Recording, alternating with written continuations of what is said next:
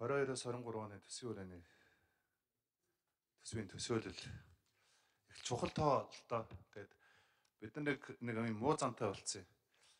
Юу гэхээр ингээд төсвийнхаа төсөөллийг баталчаад дараа нь ингээд төсвөө оруулж ирэхдээ энийхээ тоог засаад явдаг нэг юм хой тормоогоо авч хур тормоогоо нөхдөг нэг юм уу зантай болцсон байгаад байна. Тэгээ одоо энэ дотоодын нийт бүтээгдэхүүний өсөлт гэдэг энэ эдийн засгийн өсөлт лөө. Тэгэхээр мэдээж одоо 21 он 22 он бол энэ эдийн засгийн сэргэлтийг сэргээх юм он жилүүд байна гэдэгтээ бол хинч аргахгүй байна. А гэхдээ одоо бид нар ингээд нэг юм л дотоодын нийт бүтээгдэхүүнийхаа өсөлтийг нэг ингээд нэг юм их болгоомжтой тавиад байгаа уу? Эсвэл одоо яадаг нэг нэг юм 4 5хан хувийн хүрээнд л бид нар ярьдаг байхгүй. Уг нь болдгсон болвол миний бодож байгаагаар би бас хэд хэдэн санал гаргаж ирсэн юм л дээ. Төсвийн өрөөнийхөө төсөөллийг бас нэг юм варианттай ярьж юмар байна. Сайн сценаар нь юу байх юм, муу сценаар нь юу байх юм. Тэгээ одоо эдийн засгаа нэг өсгөх нэг юм томоохон бодлогыг бид нар явуулахгүй бол зүгээр нэг ингээд нэг юм зэсийн үн нэг 6000 байвал тэд болох юм.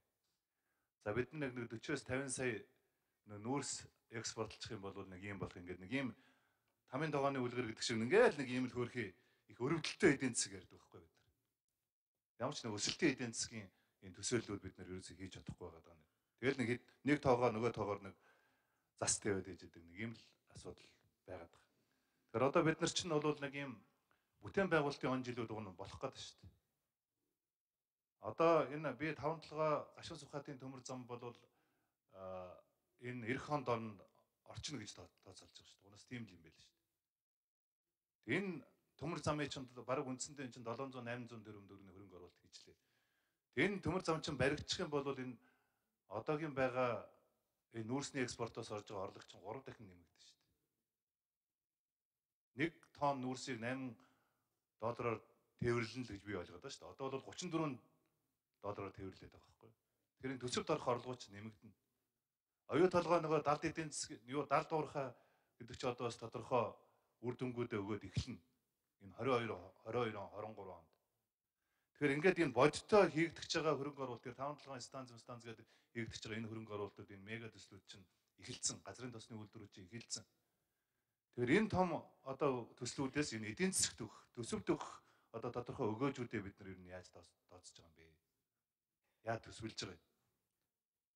Бид нар ч одоо уг нь бол энэ хөгжлийн бодлого төлөлтийн сайхан хуультай болсон харамсалтай нь одоо энэ хуулийн хэрэгжилт ерөөсөй байхгүй байгаа Одоо уг нь бол болдгсон болвол миний бодлоор бол энэ төсвийн төсөөллийг сангийн яам биш тэр хөгжлийн бодлого төлөлтийн тэр агентлаг нь оруулж ирж биднэрт энэ эдийн засгийн макро төвшнийхөө төсөөллүүдийг танилцуулж ээж тэрийгэ дагсан бид нар одоо улс төрийн эрсдэл байна уу өөр ямар нэгэн эдийн засгийн эрсдэл байна уу энэ эрсдлүүдэд тооцоож байгаа нь төсвийн төсөөллүүдийг ярьдаг нэг болох юм бол бид нар жаахан ирээдүйлүүгээ харсан ийм тоо батлах гэдэг байгаа байхгүй ийм тоо батлах гэдэг.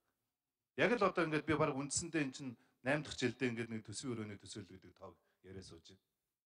Яг л нэг ярьдаг л тоо байдаг байхгүй нэг төсвийн алдагдал нь 10 хэдийн их найд дотор л нэг ярьдаг. Одоо манайх ч нь бол бид нэг 21 онд яг ч нэг 11 төгрөг төлөөд 11 төгрөг болоод 13 тэрбум төгрөгийн зардал гаргаад нэг хоёр их найдын алдагдaltaар төсөв яриа сууж байгаа шүү дээ. Одоо тэгээ 22 оноо хараа л да. 23 оноо хараа л да. Ингээд нэг ийм л тогоон дотроо л ингээд нэг юм нэг 11 12 их найдын л эн чин доллараар